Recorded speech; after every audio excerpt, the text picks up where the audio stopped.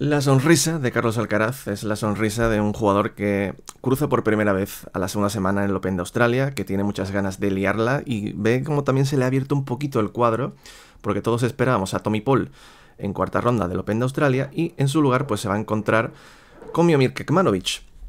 Eh, evidentemente es un poquito mejor rival del que podría ser Tommy Paul para él, pero sigue siendo duro, amigo digo. Ahora vamos a descubrir un poquito más del serbio para que quizás la gran mayoría del público que, a lo mejor no le conoce, que puede ser, pero vamos a ver si realmente puede ser de peligro para Carlos Alcaraz en esta cuarta ronda. ¿Qué tal, José? Explorando sus límites, como me gusta decir a mí, el bueno de Alcaraz, que por primera vez en vez de en octavos de final del primer Gran Slam del año.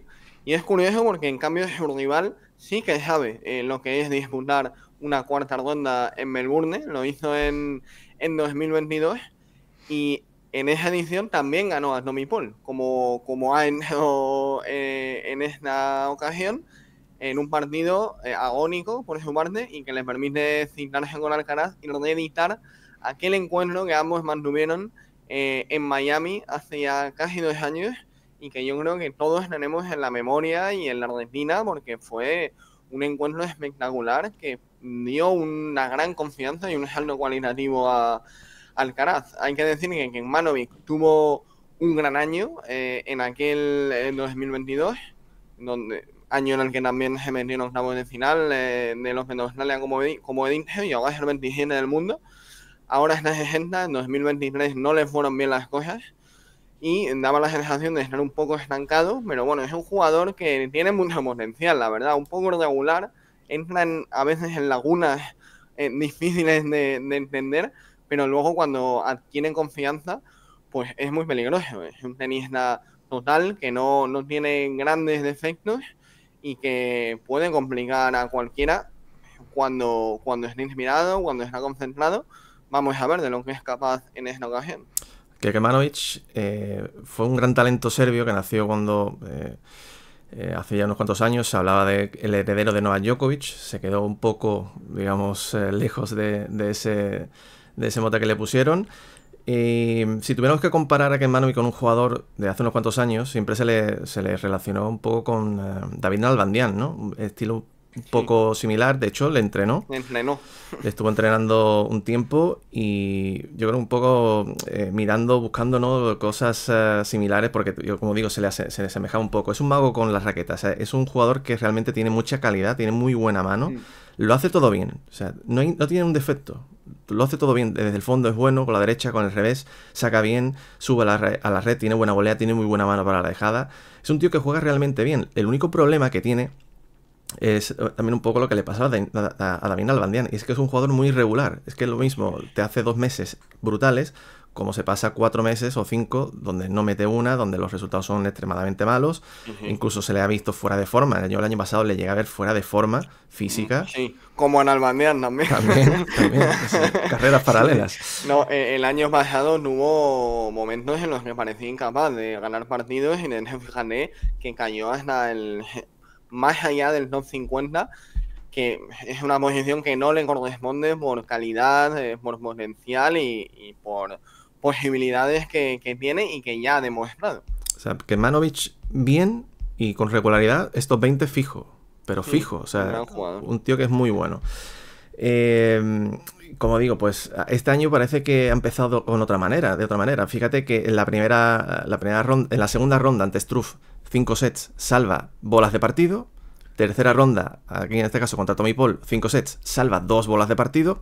Nuevamente hablamos de un jugador Mira, yo le, eh, he visto el partido ante Tommy Paul y en el tercer set parecía muerto.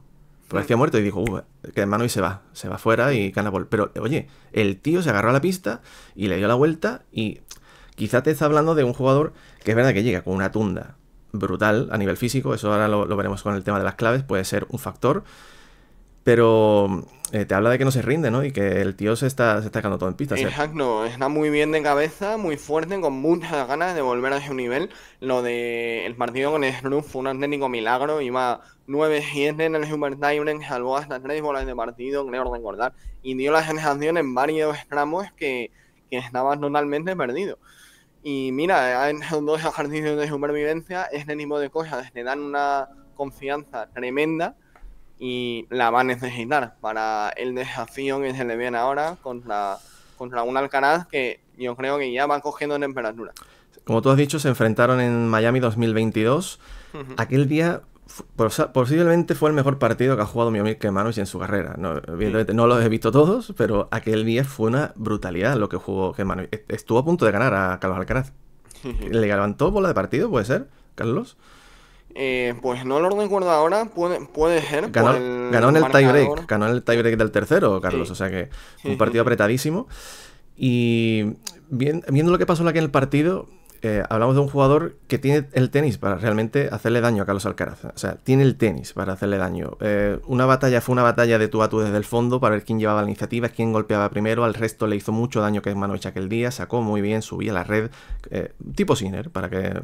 El tipo de juego de Sinner, digo, me refiero, para que lo veáis. Vamos con las claves, así que ajustando un poco a lo que pasó en aquel día, que yo creo que más o menos tirará por ahí. En primer lugar, hemos puesto que Miomir necesita ser muy consistente desde el fondo. el partido se va a jugar seguramente en muchos intercambios bien de 3, eh, de 2 a, 4 o 5 intercambios o un poco más largos y necesita estar fino, necesita estar... Eh, bueno, lo que hizo en aquel partido fue encontrar muy buenas eh, esquinas, muy fáciles, tanto del revés como con la derecha, estuvo solidísimo, como encontraba todos los golpes, muy profundo, eh, necesita lo mismo en este Open de Australia para hacer daño a Carlos Alcaraz. Le hemos puesto un alto porcentaje de primeros, aquel día Mekmanovic eh, fue brutal como sacó y necesita tanto un Carlos Alcaraz que está muy fino al resto, meter mucho primero para tener la iniciativa con el saque más uno y ponerse de cara con el punto. Y por último hemos puesto cortar el ritmo. El físico yo creo que le va a, a pasar un pequeño handicap Así que en ciertos momentos necesita cortar el ritmo. Aquel día también subió muchísimas veces a la red. Es algo que, oye, mm, lo hace bien. Se puede desplegar ese tipo de juego. Tiene buena mano para la volea. Así que quizás pues cortar el ritmo con alguna dejada, subida a la red. Eh, no ofrecer, eh, digamos, eh, un partido donde se juegue del fondo porque ahí estaría perdido. Sí, aquí la duda que tenemos un poco es esta, el desgaste físico que pueda llevar. Porque en una circunstancia normal pues el, el Germio debería buscar un partido pues similar al que tuvo en Miami, de, una potencia de piernas total para responder a todo lo que proponga Alcaraz y a la vez para él contraatacar con golpes profundos, potentes, de estos que, que molestan a, a Carlitos, muy Heiner, como tú dices, y a partir de ahí meterse él en pista. Claro, al, al ir un poco justo físicamente, quizás tenga que asumir un poco más de riesgo, y eh, como tú dices, intentar acortar un poco los puntos, subir a la red, tiene manos para ello, eh, tiene posibilidades. Pero es verdad que creo yo que lo que quizá más le convendría, eh, pues sería estar muy acertado desde el fondo de pista y proponer intercambios vertiginosos, profundos, y que Carlos se atrape un poco con esa bola rápida que cuando le viene a veces todavía le cuesta controlar, porque ya sabemos que Alcaraz, cuando más rápido le viene la bola, muchas veces más quiere acelerar él y, empieza a cometer errores, a precipitarse, y eso es lo que le hemos visto en varias ocasiones con Sinner y lo que también le vimos en aquella ocasión con Kekmanovic. Entonces, vamos a ver eh, cómo se, desempeña el Hermio y sobre todo hasta dónde le llega la resistencia física, porque viene de dos batallas tremendas. Vamos ahora con las claves de Carlos Alcaraz. Eh, está dando pasos adelante. Hoy ante Shan, pues evidentemente no le podemos acogernos a nada porque es que no, ha habido partidos. el chino estaba lesionado y aparte Alcaraz está cada vez, yo creo, dando más pasos adelante. Ha dicho en rueda de prensa que cada vez se va sintiendo más cómodo por cómo se mueve y cómo golpea la bola. Por cómo eh, eh, cada vez en los entrenamientos dice que se va sintiendo mejor. Así que viendo lo que nuevamente a lo que ajustándonos a lo que hizo en, aquel partido, pues la primera eh, clave que hemos puesto es son los primeros golpes, que es el resto, el primer resto que, que tiene Carlos. Eh, que intentar quitarle la iniciativa desde ese primer punto, eh, el tipo de, de bola que le, que le, dé, que le pueda poner en complicaciones para luego el tener la, opción de dominar con la derecha, también con el saque más uno, ser un buen servicio para luego, eh, como siempre digo, la batalla con, uh, con Kemanovic es batalla por llevar la línea de fondo, eh, dominar esa línea de fondo y ser el primero que, que, lleve la iniciativa. Hemos puesto también ofrecer distintos tipos de bolas. forzar a, a, a a que no sepa qué tipo de bola le va a llegar. Yo evitaría quizás el tema de abrir mucho ángulo porque te puede contrarrestar muy bien el serbio. Quizás lo que ha hecho hoy Shan, que es bolas eh, potentes muy planas al centro, empujar hacia atrás al rival y luego poder entrar en pista.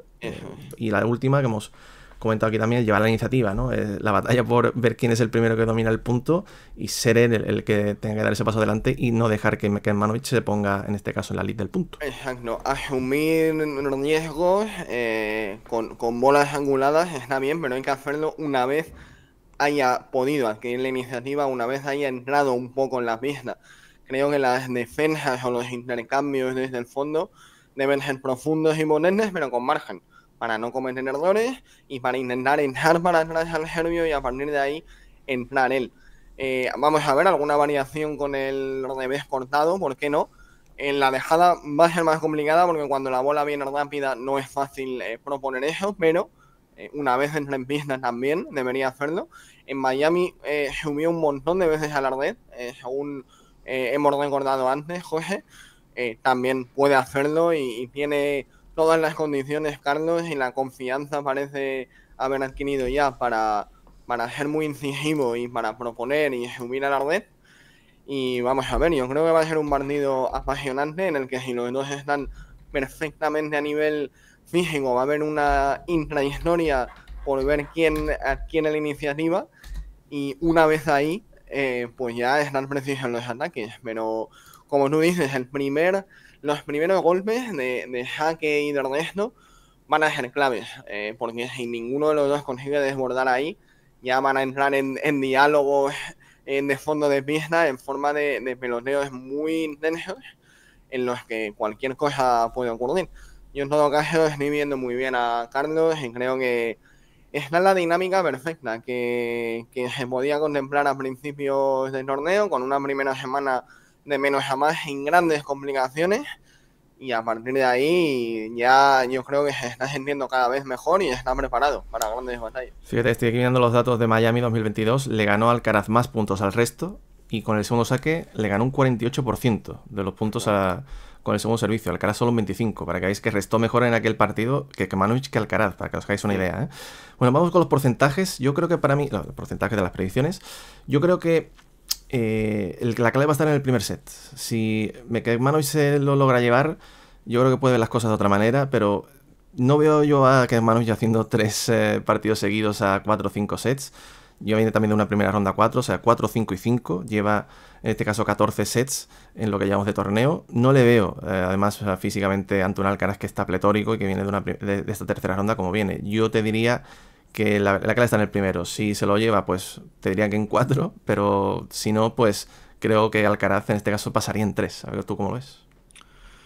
Pues estoy más o menos como tú. Yo, a ver, por muy bien que jueguen en Manovic, yo también pienso que Alcaraz ha evolucionado mucho ¿eh? desde Miami 2022. Parece que no, pero es un jugador con cada vez más argumentos técnicos y tácticos, sobre todo para contrarrestar eh, una gran versión de, de Kekmanovic, así que yo diría que gana Carlos 3. Es que esa es la cosa, que, que Kekmanovic de 2022 aquí se estanca un poco. Se ha estancado y, Carlos ha evolucionado. Exactamente, lo, bueno que hacía Carlos en 2022, ahora lo hace mejor y encima ha añadido cosas nuevas.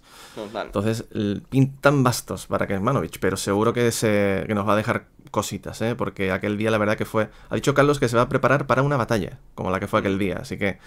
Veremos. Amigos, ahora vosotros en comentarios nos dejáis porcentajes de victoria para uno y otro. Y si pensáis que Ken Manwich puede sorprender o no a Carlos Alcaraz. Amigo Diego, como siempre, muchas gracias y nos vemos en más. Muy bien, adiós.